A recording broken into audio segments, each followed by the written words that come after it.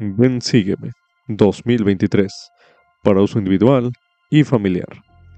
Capítulo 14. Mateo, capítulo 14. Marcos, capítulo 6. Y Juan, capítulos 5 al 6. Lección asignada del 27 de marzo al 2 de abril de 2023. Titulado No tengáis miedo.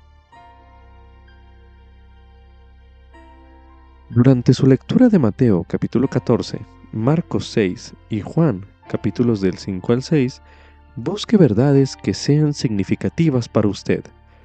Podría hacerse preguntas tales como ¿cómo se relacionan conmigo los relatos de estos capítulos? O bien, ¿qué mensajes hallo para mi vida? O preguntarse, ¿qué me gustaría compartir con mi familia o con otras personas? Anote sus impresiones a continuación.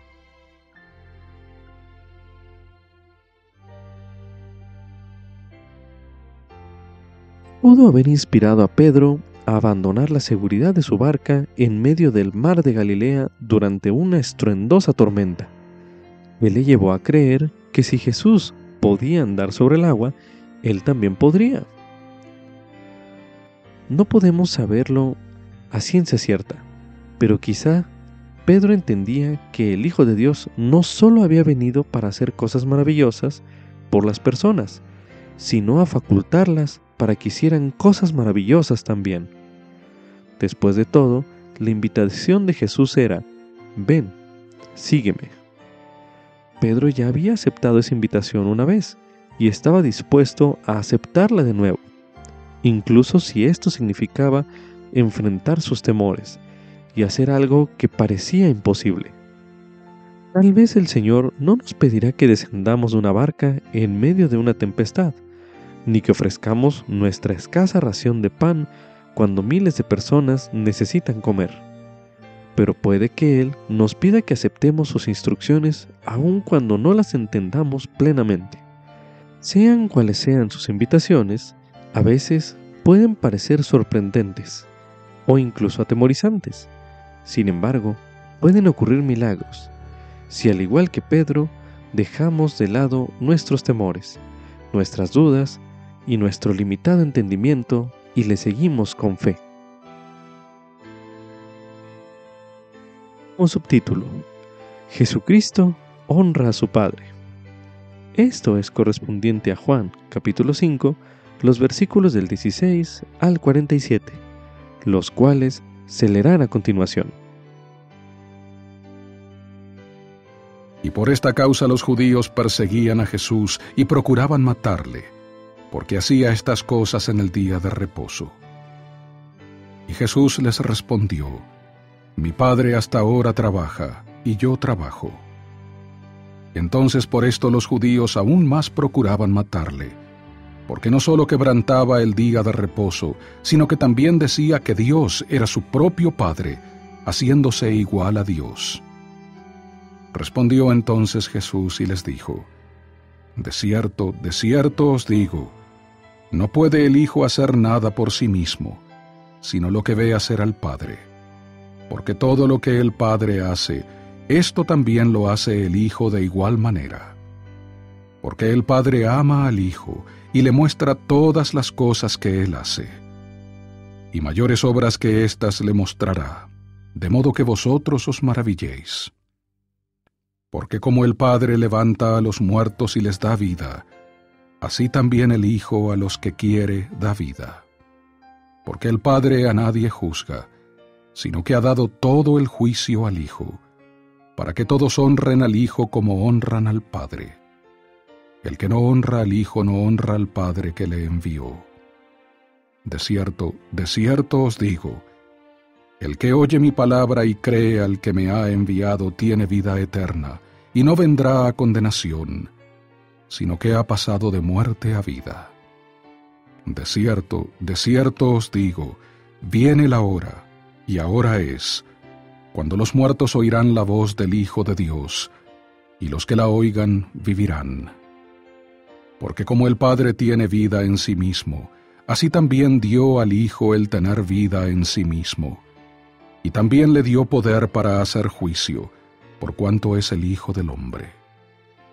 No os maravilléis de esto, porque vendrá la hora cuando todos los que están en los sepulcros oirán su voz, y los que hicieron el bien saldrán a resurrección de vida, mas los que hicieron el mal a resurrección de condenación. No puedo yo hacer nada por mí mismo.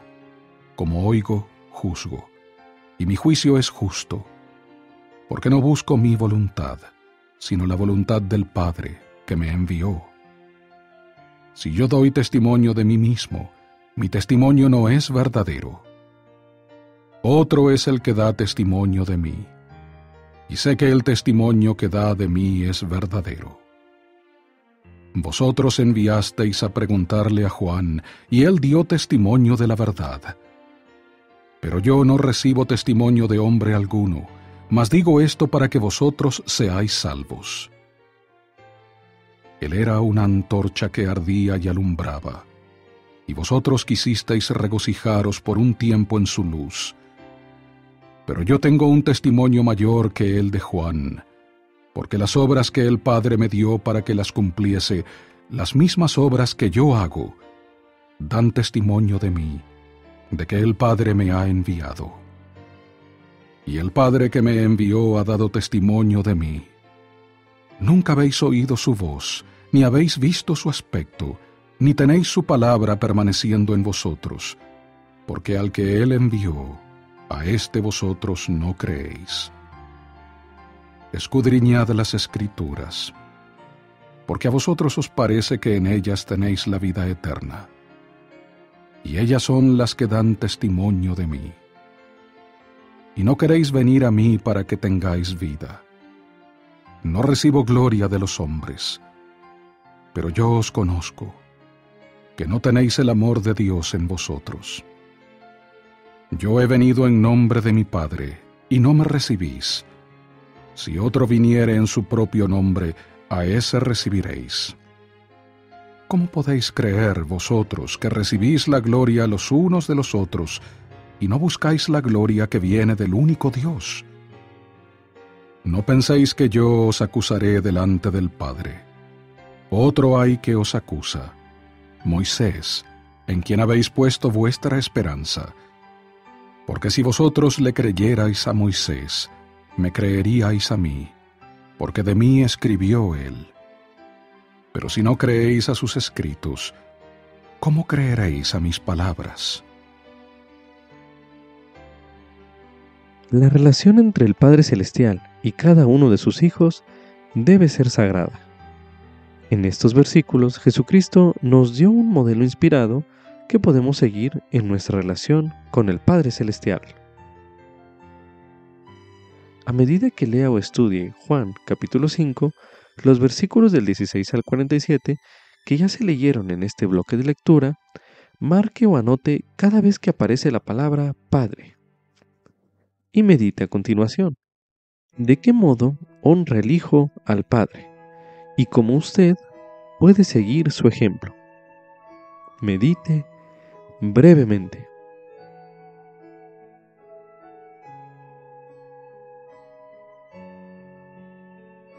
Ahora medite. ¿Qué aprende usted en cuanto a lo que el Padre siente por el Hijo? Medite nuevamente.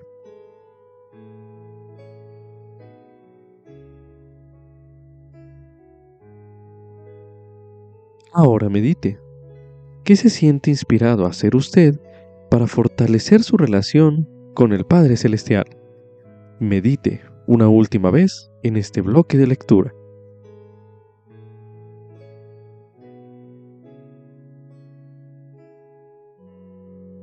Continuación se leerá Juan capítulo 17. Estas cosas habló Jesús, y alzando los ojos al cielo dijo, Padre, la hora ha llegado. Glorifica a tu Hijo, para que también tu Hijo te glorifique a ti.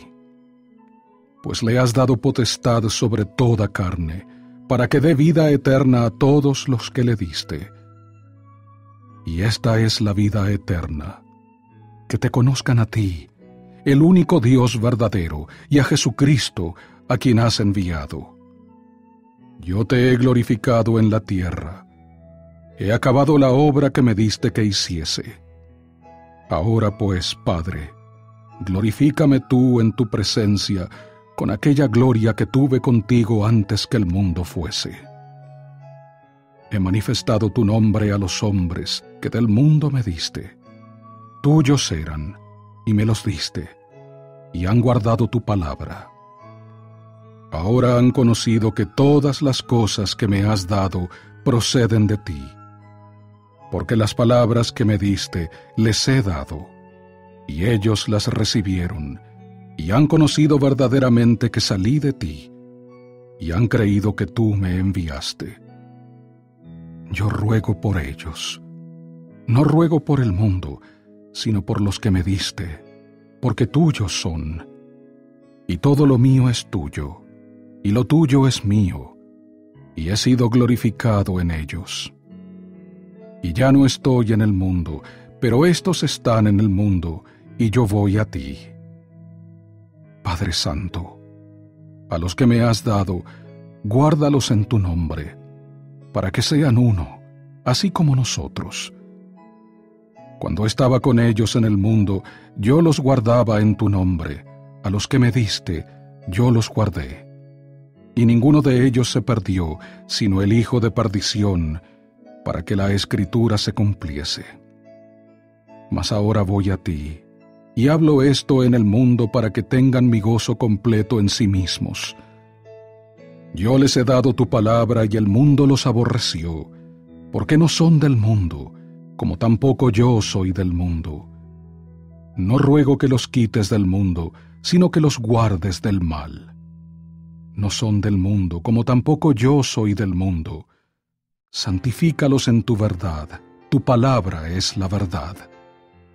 Como tú me enviaste al mundo, también yo los he enviado al mundo y por ellos yo me santifico a mí mismo, para que también ellos sean santificados en la verdad.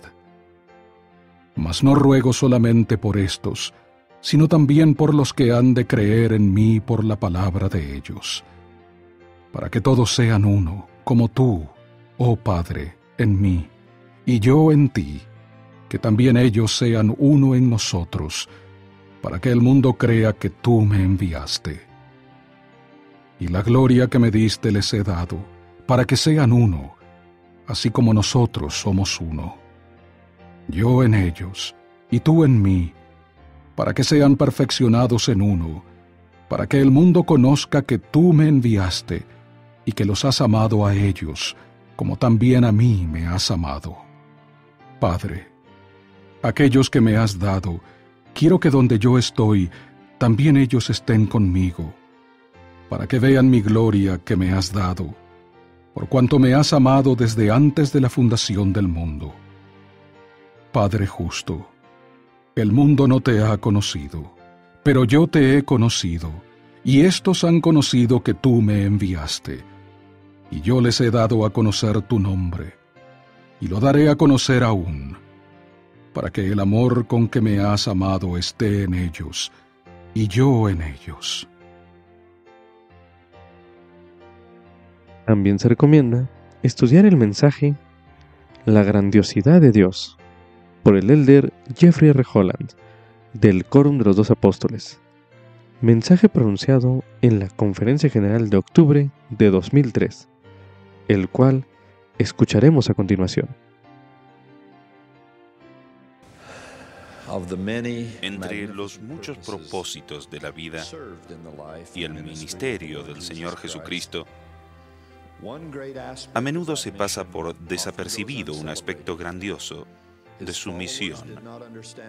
Sus seguidores no lo comprendieron plenamente en esa época y muchos de los cristianos de nuestros días tampoco lo comprenden. Pero el Salvador mismo lo mencionó enfática y repetidamente. Es la gran verdad de que todo lo que Jesús vino a hacer y a decir, incluso y en especial su sufrimiento y sacrificio expiatorio, nos enseñó más acerca de quién es y cómo es Dios, nuestro Padre eterno. Lo enteramente devoto que es a sus hijos en toda época y en toda nación. Con palabras y con hechos, Jesús trató de revelar y personalizar la verdadera naturaleza de su Padre, nuestro Padre Celestial. Lo hizo en parte porque todos necesitamos conocer más plenamente a Dios para amarle más profundamente y obedecerle más completamente. Como declara el Antiguo y el Nuevo Testamento, el primer mandamiento de todos es amarás al Señor tu Dios con todo tu corazón y con toda tu alma y con toda tu mente y con todas tus fuerzas. Este es el primero y grande mandamiento. Con razón entonces enseñó el profeta José Smith. El primer principio del Evangelio es conocer con certeza el carácter de Dios. Quiero que todos ustedes le conozcan, dijo él, y se familiaricen con él. Debemos tener el concepto correcto de sus perfecciones y atributos, una admiración de la excelencia de su carácter. La primera declaración de nuestra fe es, nosotros creemos en Dios, el Eterno Padre. Y así lo hizo Jesús enfáticamente.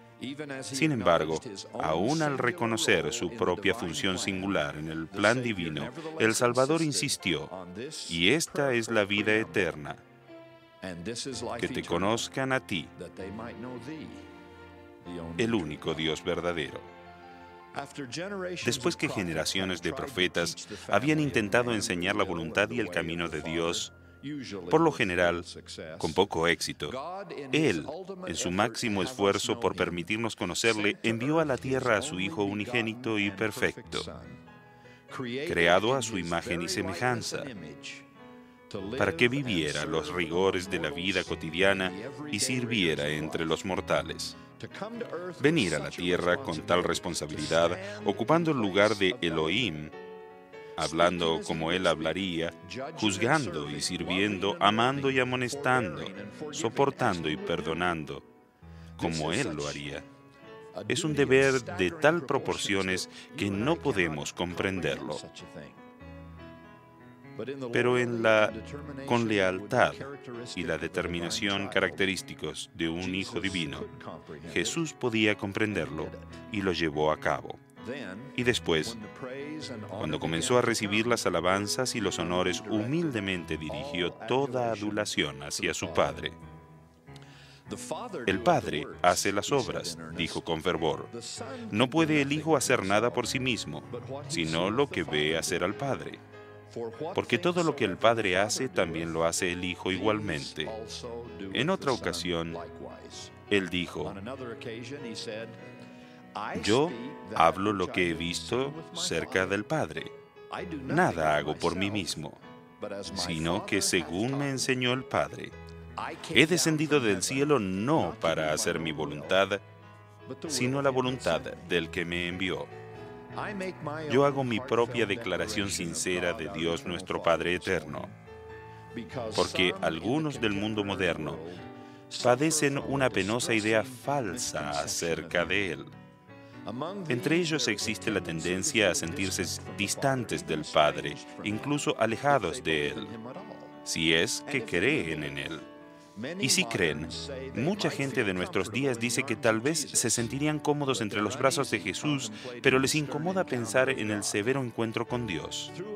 Por la mala interpretación y en algunos casos la mala traducción de la Biblia, piensan que Dios el Padre y su Hijo Jesucristo obran en formas diferentes. A pesar del hecho de que tanto el Antiguo como el Nuevo Testamento afirman que el Hijo de Dios es uno con Él, actúan siempre bajo la dirección del Padre, que es el mismo, ayer, hoy y para siempre. Al meditar en esos errores, comprendemos que una de las contribuciones maravillosas del libro de Mormón es su concepto perfecto de la divinidad. Allí no existe una brecha como la de Malaquías a Mateo. Ninguna pausa mientras cambiamos de mentalidad teológica.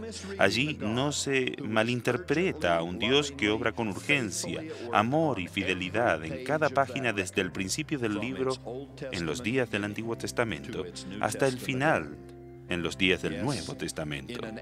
Sí, en un esfuerzo por restaurar al mundo las verdades de la Biblia y el concepto correcto de la Trinidad, lo que tenemos en el libro de Mormón es una perspectiva uniforme de Dios en toda su gloria y bondad, su riqueza y complejidad, especialmente demostrada con la reaparición personal de Jesucristo, su Hijo unigénito.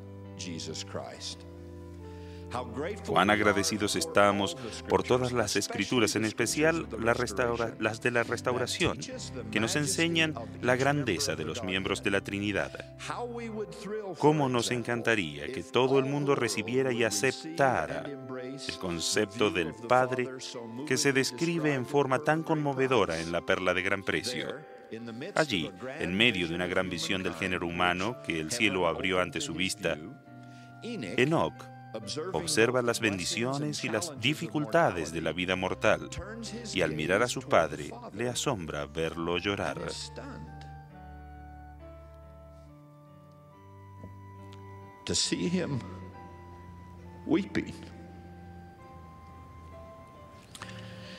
Él dice con asombro a ese ser más poderoso del universo ¿Cómo es posible que tú llores? Eres justo y misericordioso y benévolo. La paz es la habitación de tu trono y la misericordia irá delante de tu faz y no tendrá fin.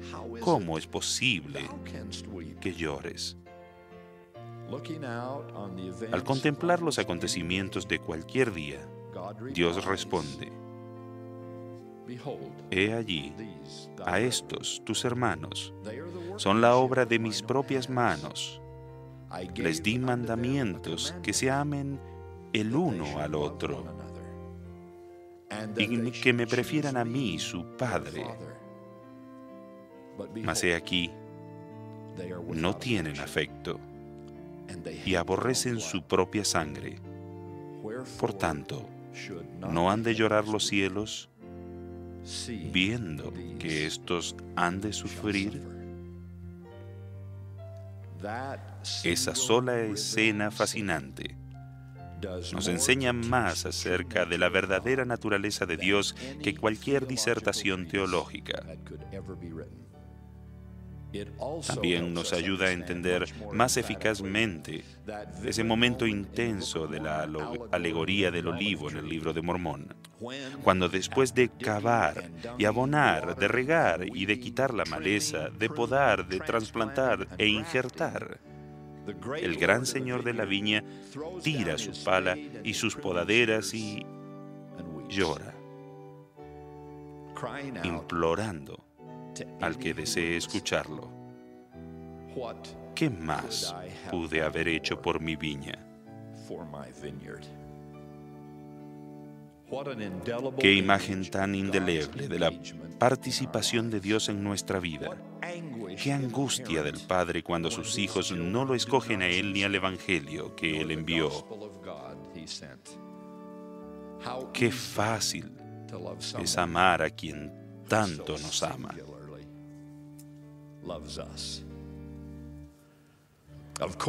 Claro que el alejamiento por tantos siglos de la creencia en un Padre tan perfecto y amoroso se ha acrecentado con los credos humanos de generaciones erradas que describen a Dios como un ser desconocido y no conocible, sin forma ni pasiones, esquivo, etéreo, de todas partes y en ninguna parte eso ciertamente no describe al ser que vemos a través de los ojos de estos profetas. Tampoco concuerda con Jesús de Nazaret, vivo y encarnado, que fue y está en el resplandor de su gloria y la imagen misma de su Padre. En ese sentido, Jesús no vino a mejorar el concepto de Dios para con el hombre, sino el concepto del hombre acerca de Dios y a suplicar a los hombres que amaran a su Padre Celestial como Él siempre les ha amado y les amará. Tuvieron la oportunidad de comprender el plan, el poder, la santidad de Dios, sí, incluso la ira y el juicio de Dios, pero no comprendieron plenamente el amor de Dios y la gran profundidad de su devoción a sus hijos hasta que vino Cristo.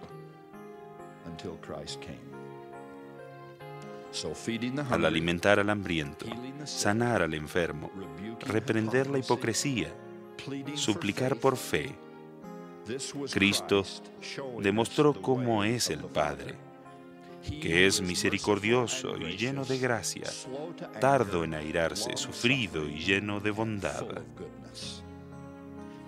Con su vida y especialmente con su muerte, Cristo declaró, esta compasión que les estoy demostrando es mía y también de mi Padre. Con la manifestación de ese Hijo perfecto, del amor de su Padre perfecto, con su mutuo sufrimiento y pesar por nuestros pecados y por nuestros dolores, percibimos el verdadero significado de la declaración. Porque de tal manera amó Dios al mundo, que ha dado a su Hijo unigénito, para que todo aquel que en Él cree no se pierda, mas tenga vida eterna. Porque no envió Dios a su Hijo al mundo para condenar al mundo, sino para que el mundo sea salvo por Él. Este día mi testimonio personal de un Dios personal y viviente que conoce nuestro nombre, escucha nuestras oraciones y nos ama eternamente como hijos de su Espíritu. Testifico que entre las grandes y complejas tareas del universo, él busca nuestra felicidad individual por encima de todo asunto divino. Fuimos creados a su imagen y semejanza, y Jesús de Nazaret, su Hijo, unigénito en la carne, vino a la tierra como la manifestación perfecta y mortal de su grandiosidad. Además del testimonio de los antiguos, también tenemos el milagro moderno de Palmira, la aparición de Dios el Padre y de su Hijo Jesucristo, su Hijo amado, el Salvador del mundo, al joven profeta José Smith. Testifico de esa aparición y con las palabras de ese profeta yo también declaro, nuestro Padre Celestial es más liberal en sus conceptos y más extenso en sus misericordias y bendiciones de lo que estamos dispuestos a creer o recibir. Dios no tolera el pecado, pero Cuanto más nos acercamos a nuestro Padre Celestial, tanto más habrá en nosotros la disposición de sentir misericordia hacia las almas que están pereciendo sentiremos el deseo de llevarlas sobre nuestros hombros y echar sus pecados a nuestras espaldas. Doy testimonio de un Dios que tiene hombros así.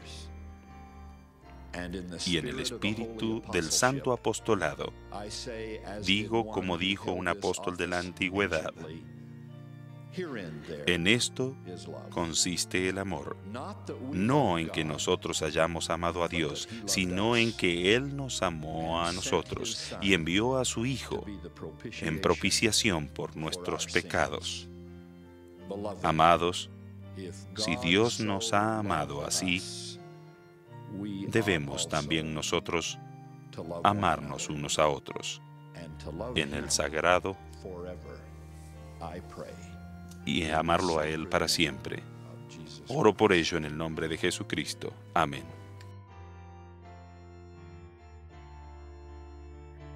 Como subtítulo, El Salvador puede multiplicar mis humildes ofrendas para lograr sus propósitos. Esto es correspondiente a Mateo, capítulo 14, los versículos del 15 al 21. Marcos capítulo 6, los versículos del 33 al 44. Y Juan capítulo 6, los versículos del 5 al 14. A continuación se leerá Mateo capítulo 14, los versículos del 15 al 21, que dicen lo siguiente. Y cuando anochecía se acercaron a él sus discípulos diciendo, El lugar es desierto y la hora es ya pasada. Despide a la multitud para que vayan por las aldeas y compren para sí de comer. Y Jesús les dijo, No tienen necesidad de irse, dadles vosotros de comer. Y ellos dijeron, No tenemos aquí sino cinco panes y dos peces. Y él les dijo, Traédmelos acá. Y mandó a la gente recostarse sobre la hierba. Tomó los cinco panes y los dos peces, y alzando los ojos al cielo, bendijo, y partió y dio los panes a los discípulos, y los discípulos a la gente. Y comieron todos y se saciaron, y recogieron lo que sobró doce cestas llenas y los que comieron fueron como cinco mil hombres, sin contar las mujeres y los niños. Continuación se leerá Marcos, capítulo 6, los versículos del 33 al 44, que dicen lo siguiente. Pero muchos los vieron ir y le reconocieron, y concurrieron allá muchos a pie desde las ciudades, y llegaron antes que ellos y se reunieron con él.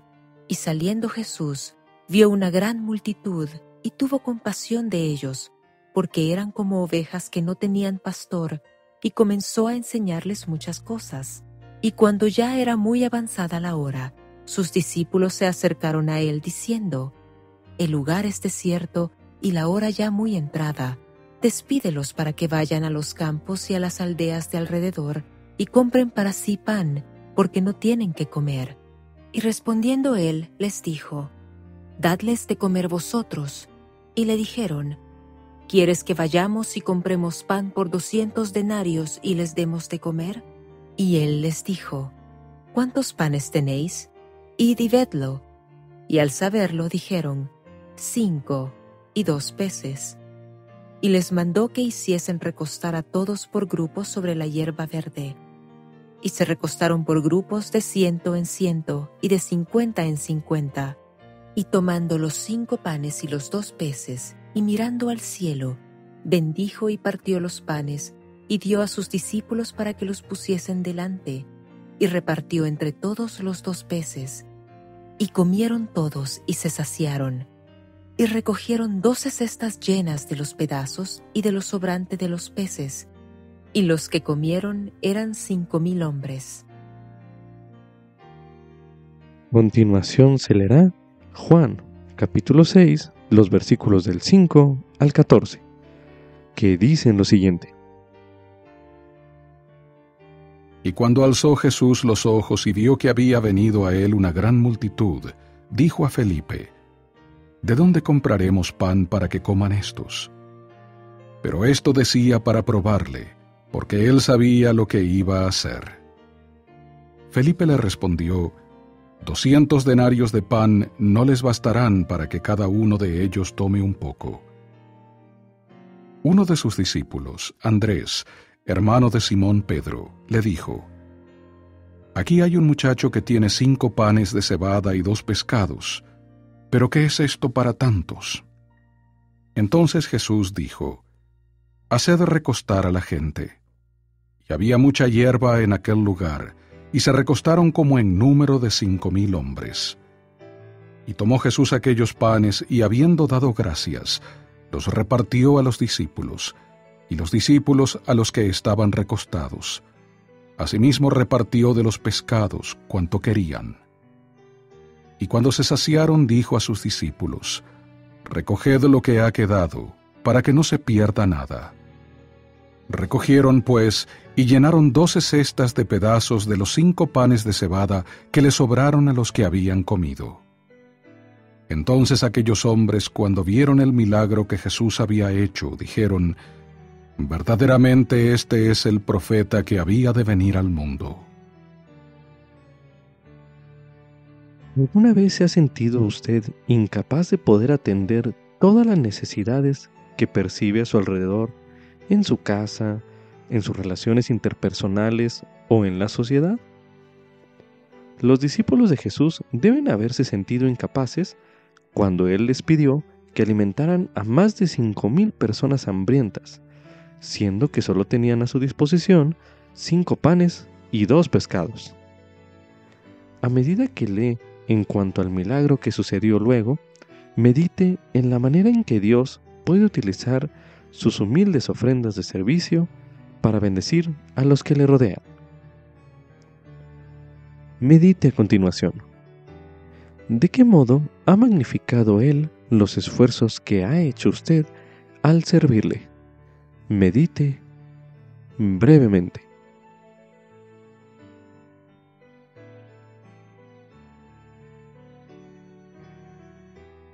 Se le invita a continuación a pensar en las siguientes palabras que pronunció la hermana Michelle D. Craig, primera consejera de la Presidencia General de Mujeres Jóvenes. Ella dijo lo siguiente. Tanto ustedes como yo podemos dar lo que tenemos a Cristo, y Él puede multiplicar nuestros esfuerzos. Lo que tienen que ofrecer es más que suficiente, incluso con sus flaquezas y debilidades humanas, si se apoyan en la gracia de Dios. Este es un fragmento del mensaje, El descontento divino, pronunciado en la Conferencia General de octubre de 2018. Como subtítulo, Jesucristo me invita a dejar de lado mis temores y dudas y a ejercer la fe en Él. Esto es correspondiente a Mateo, capítulo 14, los versículos del 22 al 33. Marcos capítulo 6, los versículos del 45 al 52, y Juan capítulo 6, los versículos del 15 al 21. A continuación se leerá Mateo capítulo 14, los versículos del 22 al 33, que dicen lo siguiente. Y enseguida Jesús hizo a sus discípulos entrar en la barca e ir delante de él al otro lado del lago, entre tanto que él despedía a la multitud. Y después de haber despedido a la multitud, subió al monte a orar aparte, y cuando llegó la noche estaba allí solo. Y ya la barca estaba en medio del mar, azotada por las olas, porque el viento era contrario. Mas a la cuarta vigilia de la noche, Jesús fue a ellos andando sobre el mar. Y los discípulos viéndole andar sobre el mar se turbaron diciendo, Un fantasma, y dieron voces de miedo. Pero enseguida Jesús les habló diciendo, Tened ánimo, yo soy, no tengáis miedo. Entonces le respondió Pedro y dijo, Señor, si eres tú, manda que yo vaya a ti sobre las aguas. Y él dijo, Ven. Y descendió Pedro de la barca y anduvo sobre las aguas para ir a Jesús. Mas al ver el viento fuerte tuvo miedo, y comenzando a hundirse dio voces diciendo, Señor, sálvame. Y al momento Jesús extendiendo la mano le sujetó y le dijo, Oh hombre de poca fe, ¿por qué dudaste? Y cuando ellos subieron a la barca se sosegó el viento. Entonces los que estaban en la barca vinieron y le adoraron, diciendo, Verdaderamente eres hijo de Dios. A continuación se leerá Marcos, capítulo 6, los versículos del 45 al 52, que dicen lo siguiente. Y enseguida dio prisa a sus discípulos a subir en la barca e ir delante de él a Bethsaida, al otro lado, entre tanto que él despedía a la multitud. Y después que los hubo despedido, se fue al monte a orar. Y cuando fue ya tarde, la barca estaba en medio del mar, y él solo en tierra. Y los vio fatigados remando, porque el viento les era contrario, y cerca de la cuarta vigilia de la noche, vino a ellos caminando sobre el mar, y quería adelantárseles. y viéndole ellos andar sobre el mar, pensaron que era un fantasma y dieron voces, porque todos le veían y se turbaron. Pero enseguida habló con ellos y les dijo, Tened buen ánimo, yo soy, no temáis. Y subió a ellos en la barca y se calmó el viento, y ellos estaban asombrados en gran manera y se maravillaban, porque aún no habían entendido lo de los panes, por cuanto estaban endurecidos sus corazones. Continuación se leerá Juan, capítulo 6, los versículos del 15 al 21, que dicen lo siguiente. Entendiendo Jesús que iban a venir para apoderarse de él y hacerle rey, volvió a retirarse al monte él solo. Y al anochecer descendieron sus discípulos al mar, y entrando en una barca iban cruzando al otro lado del mar hacia Capernaum. Y estaba ya oscuro, y Jesús no había venido a ellos. Y se encrespaba el mar con un gran viento que soplaba y cuando habían remado como veinticinco o treinta estadios, vieron a Jesús que andaba sobre el mar y que se acercaba a la barca, y tuvieron miedo. Mas él les dijo, Yo soy, no temáis. Ellos entonces le recibieron con gusto en la barca, y enseguida la barca llegó a la tierra a donde iban. Imagínese los detalles de la escena que se narra en estos versículos que ya leímos en este bloque de lectura. Solo imagínese cómo se habrán sentido Pedro y los demás discípulos. Medite a continuación. ¿Qué puede aprender usted de las palabras y de las acciones del Salvador en estos versículos en cuanto al liderazgo? Medite brevemente.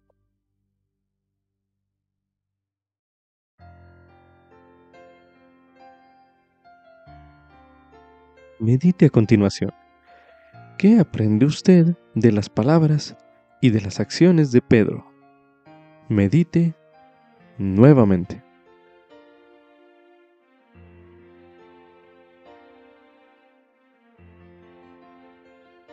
Continuación se leerá en primer Nefi, en el capítulo 3, el versículo 7, donde se menciona. Y sucedió que yo, Nefi, Dije a mi padre, iré y haré lo que el Señor ha mandado, porque sé que Él nunca da mandamientos a los hijos de los hombres, sin prepararles una vía, para que cumplan lo que les ha mandado. Medite a continuación. ¿Qué le está pidiendo el Señor que haga que podría asemejarse a salir de la barca? Medite nuevamente.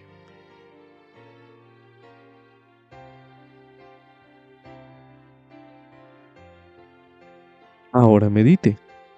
¿Qué encuentra usted en estos versículos que le dé valor para ejercer su fe en Jesucristo? Medite una última vez en este bloque de lectura.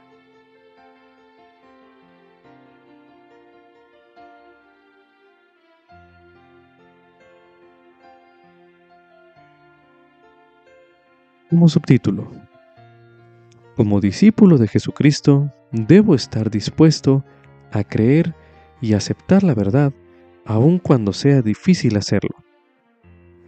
Esto es correspondiente a Juan, capítulo 6, los versículos del 22 al 71, los cuales se leerán a continuación. Al día siguiente, la gente que estaba al otro lado del mar vio que no había habido allí más que una sola barca, y que Jesús no había entrado en ella con sus discípulos, sino que sus discípulos se habían ido solos. Pero otras barcas habían arribado de Tiberias, junto al lugar donde habían comido el pan, después de haber dado gracias el Señor. Cuando vio pues la gente que Jesús no estaba allí, ni sus discípulos, entraron ellos en las barcas y fueron a Capernaum, buscando a Jesús y hallándole al otro lado del mar le dijeron, Rabí, ¿cuándo llegaste acá? Les respondió Jesús y dijo, De cierto, de cierto os digo, que me buscáis, no porque habéis visto los milagros, sino porque comisteis el pan y os saciasteis. Trabajad, no por la comida que perece, sino por la comida que permanece para vida eterna, la cual el Hijo del Hombre os dará, porque a éste selló Dios el Padre. Entonces le dijeron, ¿qué haremos para poner en práctica las obras de Dios? Respondió Jesús y les dijo, Esta es la obra de Dios, que creáis en el que Él ha enviado. Entonces le dijeron, ¿Qué señal pues haces tú para que veamos y te creamos? ¿Qué obra haces? Nuestros padres comieron el maná en el desierto como está escrito, pan del cielo les dio a comer. Y Jesús les dijo, De cierto, de cierto os digo, no os dio Moisés el pan del cielo, sino mi Padre os da el verdadero pan del cielo. Porque el pan de Dios es aquel que descendió del cielo y da vida al mundo. Y le dijeron, Señor, danos siempre este pan. Y Jesús les dijo, Yo soy el pan de vida. El que a mí viene nunca tendrá hambre, y el que en mí cree no tendrá sed jamás. Pero ya os he dicho que aunque me habéis visto, no creéis.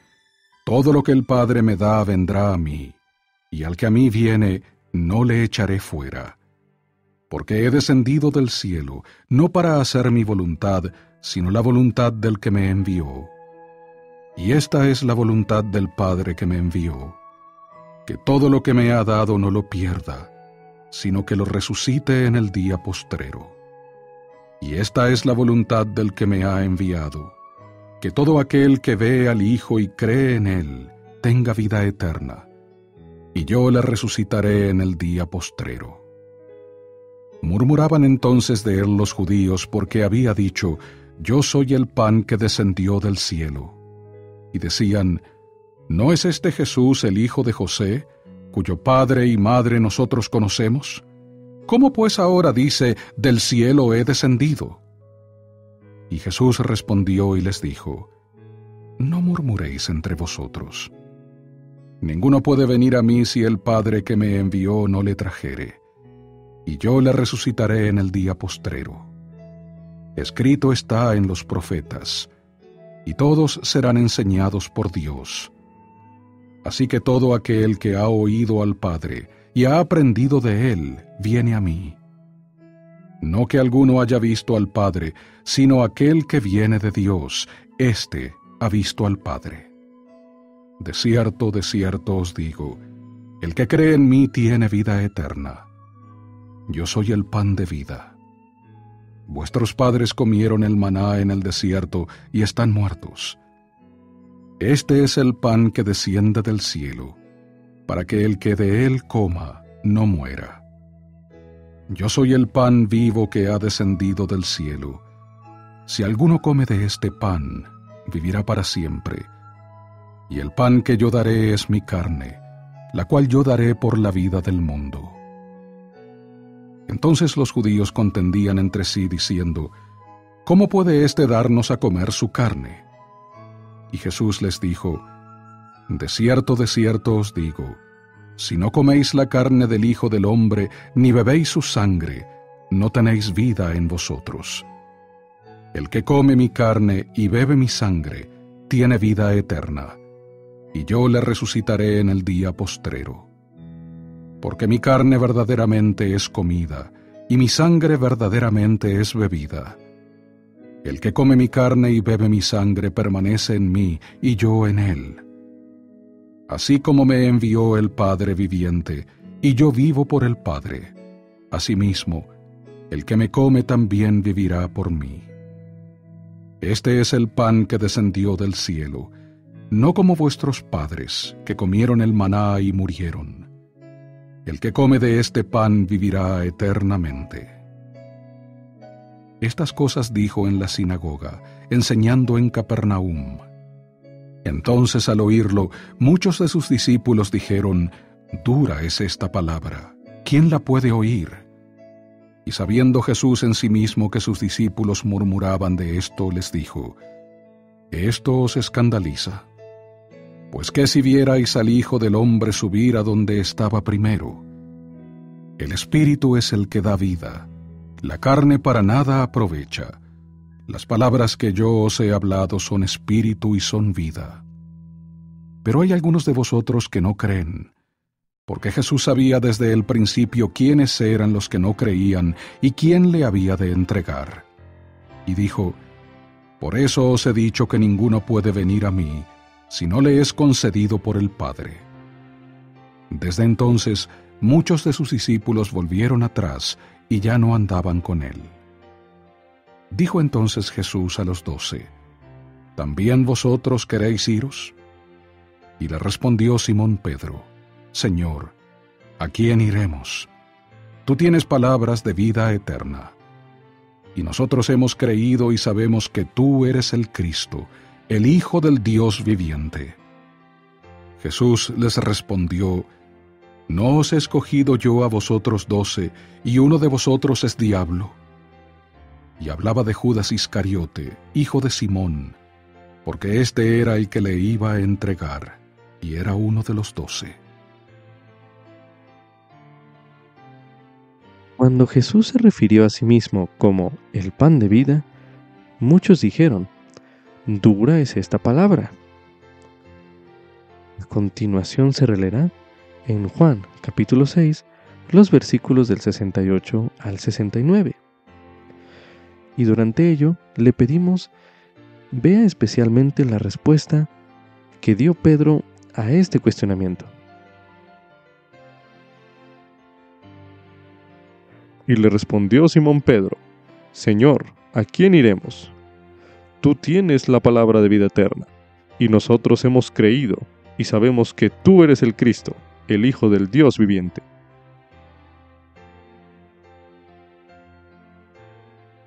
Medite a continuación. ¿De qué manera las palabras de Pedro, que se encuentran registradas en estos versículos, pueden ayudarle a usted en los momentos en que la doctrina del Salvador parezca difícil de aceptar o de vivir? Medite brevemente.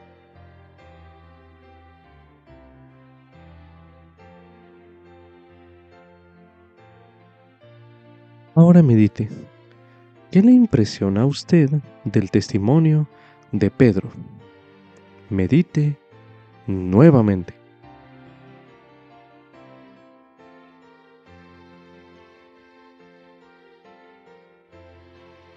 Para finalizar, medite en lo siguiente.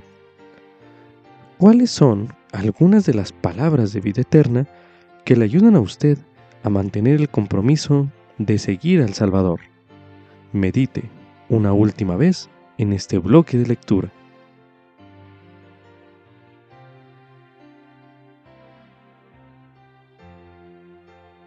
También se recomienda estudiar el mensaje ¿A quién iremos?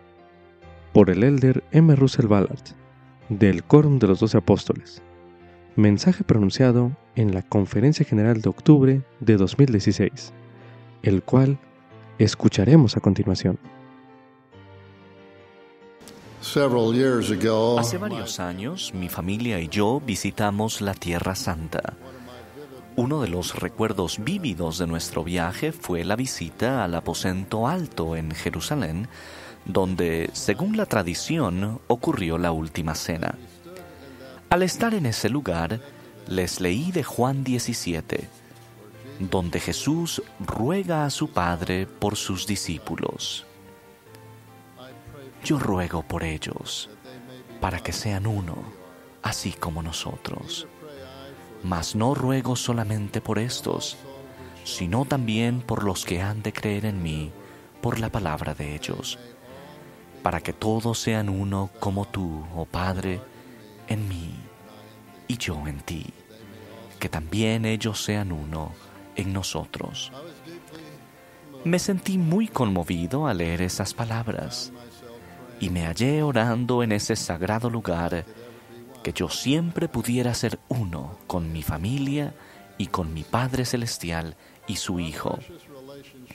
las valiosas relaciones que tenemos con familiares, amigos, el Señor y su iglesia restaurada están entre las cosas más importantes en la vida. Por causa de que estas relaciones son tan importantes, debemos atesorarlas, protegerlas y nutrirlas. Uno de los relatos más desgarradores en las Escrituras tuvo lugar cuando muchos de los discípulos del Señor pensaron que era difícil aceptar sus enseñanzas y doctrina y se volvieron atrás y ya no andaban con él. Al marcharse estos discípulos, Jesús se volvió a los doce y preguntó, ¿también vosotros queréis iros? Pedro respondió, Señor, ¿a quién iremos? Tú tienes palabras de vida eterna y nosotros hemos creído y sabemos que tú eres el Cristo, el Hijo del Dios viviente. En el momento en que otras personas se centraban en aquello que no podían aceptar, los apóstoles eligieron centrarse en lo que sí creían y sabían, y como resultado ellos permanecieron con Cristo. Posteriormente, el día de Pentecostés, los doce recibieron el don del Espíritu Santo. Se volvieron valientes en sus testimonios de Cristo y comenzaron a entender más plenamente las enseñanzas de Jesús. Hoy en día no es diferente. Para algunas personas la invitación de Cristo a creer y permanecer sigue pareciendo difícil de aceptar. Algunos discípulos tienen dificultad para entender una norma o una enseñanza de la iglesia en particular. Otros se inquietan con aspectos de nuestra historia o con las imperfecciones de algunos miembros y líderes actuales o antiguos. Hay quienes encuentran difícil vivir una religión que requiere tanto. Y finalmente, hay quienes se cansan de hacer lo bueno. Por estas y otras razones, algunos miembros de la Iglesia vacilan en su fe y se preguntan si quizás deban seguir a los que se volvieron atrás ya no andaban con Jesús. Si alguno de ustedes está flaqueando en su fe, yo le hago la misma pregunta que hizo Pedro. ¿A quién irá usted? Si usted decide inactivarse o irse de la iglesia restaurada de Jesucristo de los santos de los últimos días, ¿a dónde irá? ¿Qué hará? La decisión de ya no andar más con los miembros de la iglesia y con los líderes escogidos por el Señor tendrá un impacto a largo plazo que no siempre se podrá apreciar ahora. Puede haber alguna doctrina, alguna norma, un aspecto de la historia que no coincida con su fe y usted puede pensar que, ahora mismo, la única manera de resolver ese conflicto interior consista en ya no andar más con los santos. Si llega a vivir tanto como yo, llegará a entender que las cosas tienen una manera de resolverse solas. Un pensamiento inspirado o una revelación pueden arrojar nueva luz sobre un problema. Recuerde, la restauración no es un acontecimiento ya pasado, sino algo que está en pleno desarrollo. Nunca abandone las grandes verdades que fueron reveladas por medio del profeta José Smith. Nunca deje de leer, meditar y poner en práctica la doctrina de Cristo que se halla en el libro de Mormón. Nunca deje de concederle al Señor la misma oportunidad haciendo esfuerzos honestos para entender lo que el Señor ha revelado. Como dijo en cierta ocasión mi querido amigo y antiguo compañero, el elder Neil A. Maxwell, no deberíamos suponer que solo porque no sepamos explicar algo, ese algo sea inexplicable. Por tanto, antes de tomar esa decisión espiritualmente peligrosa de marcharse, le animo a que se detenga y piense detenidamente antes de renunciar a todo aquello que, en primer lugar, le trajo a su testimonio de la iglesia restaurada de Jesucristo. Deténgase y piense en lo que usted sintió aquí y el por qué lo sintió. Piense en las veces que el Espíritu Santo le ha testificado de la verdad eterna. ¿A dónde irá para encontrar otras personas que compartan la creencia que usted tiene en padres celestiales amorosos y personales que nos enseñan cómo regresar a la presencia eterna de ellos? ¿A dónde irá para que le enseñen acerca de un Salvador que es su mejor amigo, que no solo sufrió por sus pecados, sino que también sufrió dolores, aflicciones y tentaciones de todas clases? para que sus entrañas sean llenas de misericordia, según la carne, a fin de que según la carne sepa cómo socorrer a los de su pueblo, de acuerdo con las debilidades de ellos, lo cual abarca, creo yo, la debilidad de la pérdida de fe. ¿A dónde irá para aprender más acerca del plan del Padre Celestial para nuestra felicidad y paz eternas, un plan lleno de maravillosas posibilidades, enseñanzas y guías para nuestra vida terrenal y eterna? Recuerde que el plan de salvación le otorga sentido, propósito y dirección a la vida terrenal. ¿A dónde irá a encontrar una detallada e inspirada estructura organizativa de la Iglesia por la cual usted recibe enseñanzas y apoyo de hombres y mujeres que están profundamente comprometidos a servir al Señor mediante el servicio a usted y su familia? ¿A dónde irá a encontrar profetas y apóstoles vivientes llamados de Dios para ofrecerle otro recurso de consejo, entendimiento, consuelo e inspiración para los desafíos de nuestros días? ¿A dónde irá a encontrar un pueblo que vive conforme a un conjunto de valores y normas prescritas que usted comparte y desea transmitir a sus hijos y nietos? ¿Y a dónde irá para experimentar el gozo que proviene de las ordenanzas de salvación y los convenios del templo? Hermanos y hermanas, aceptar y vivir el Evangelio de Cristo puede ser difícil Siempre ha sido así y así seguirá siendo. La vida puede ser como unos escaladores que ascienden un trayecto escarpado y difícil. Es normal y natural que ocasionalmente hagamos una pausa en la vía para recuperar el aliento, volvernos a orientar y replantearnos el ritmo de marcha. No todas las personas necesitan hacer una pausa en el camino pero no hay nada de malo en hacerlo cuando lo requieren las circunstancias. De hecho, puede tornarse en algo positivo para quienes aprovechan plenamente la oportunidad para refrescarse con las aguas vivas del Evangelio de Cristo. El peligro se presenta cuando una persona escoge desviarse de la senda que conduce al árbol de la vida. Hay tiempos en que debemos aprender, estudiar y saber y tiempos en que debemos creer, confiar y tener esperanza. Al final, cada quien debe responder a la pregunta del Salvador, ¿también vosotros queréis iros? Todos debemos buscar nuestra propia respuesta a esa pregunta. Para algunos la respuesta es sencilla, para otros es difícil. Yo no pretendo conocer la razón por la cual la fe para creer llega más fácilmente a unos que a otros. Solo estoy muy agradecido de saber que las respuestas siempre están ahí y que si las procuramos, si las buscamos realmente, con verdadera intención e íntegro propósito de un corazón suplicante, finalmente hallaremos las respuestas a nuestras preguntas en tanto que continuemos en la senda del Evangelio.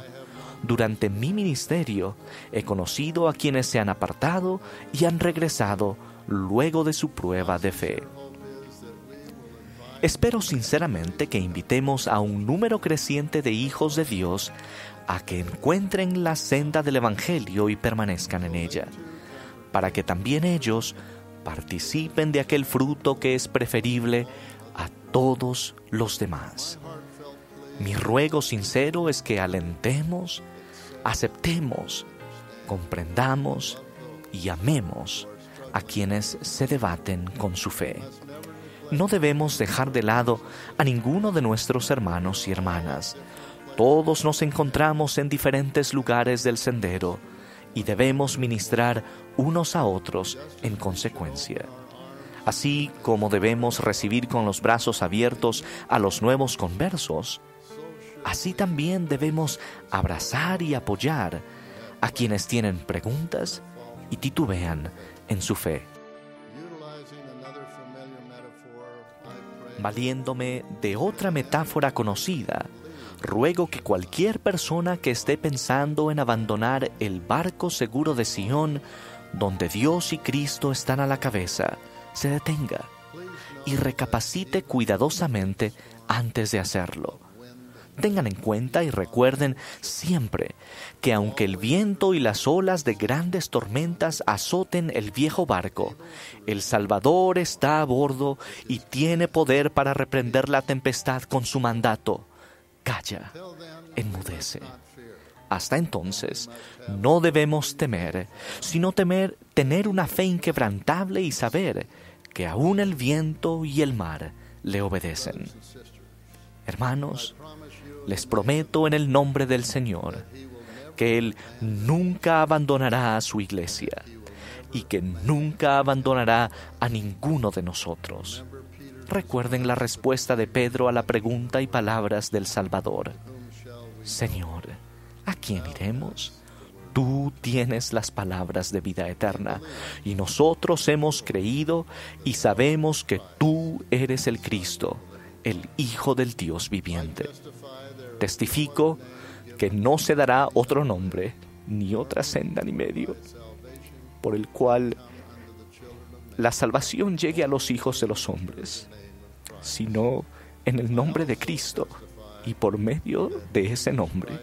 También testifico que el Señor ha llamado apóstoles y profetas en nuestros días y ha restaurado su iglesia con enseñanzas y mandamientos como un refugio contra la tempestad y contra la ira, que sobrevendrán con seguridad, a menos que las personas del mundo se arrepientan y se vuelvan a Él. Testifico además que el Señor invita a todos ellos a que vengan a Él y participen de su bondad. Y a nadie de los que a Él vienen desecha, sean negros o blancos, esclavos o libres, varones o mujeres, y todos son iguales ante Dios. Jesús es nuestro Salvador y Redentor y su Evangelio restaurado nos conducirá con seguridad de regreso a la presencia de nuestros padres celestiales si permanecemos en el sendero del Evangelio y seguimos sus pasos. De ello testifico. En el nombre de Jesucristo. Amén. Con esto concluye Ven Sígueme 2023 para uso individual y familiar capítulo 14, Mateo, capítulo 14, Marcos, capítulo 6 y Juan, capítulos del 5 al 6. Lección asignada del 27 de marzo al 2 de abril de 2023, titulado No tengáis miedo.